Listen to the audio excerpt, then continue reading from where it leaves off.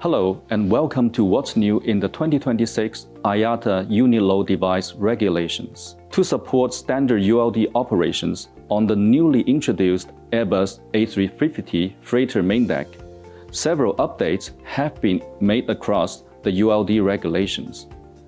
Updated aircraft contour information has been added to Section 2. A new aircraft container contour code W, forming the new ULD type code AMW, has been introduced to Section 4. The maximum allowable contour details for code W, along with aircraft compatibility information, has been included in Section 5, recognizing that using incompatible pallets and nets violates safety requirements. We've enhanced the standard specification 50-5 pallet and net compatibility information in Section 5 to improve clarity and usability.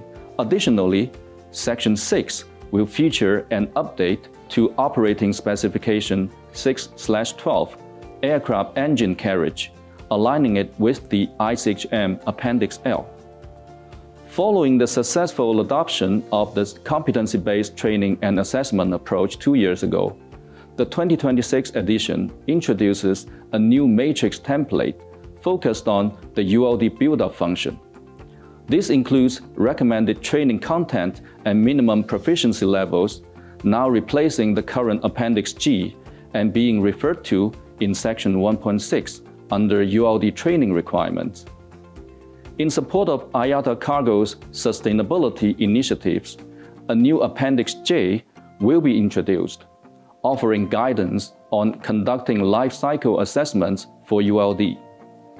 Lastly, the glossary session has been revised based on recommendations from the Definition Alignment Task Force, ensuring greater consistency and clarity across terminology. Ensure your compliance and safety. Order your 2026 IATA ULDR today.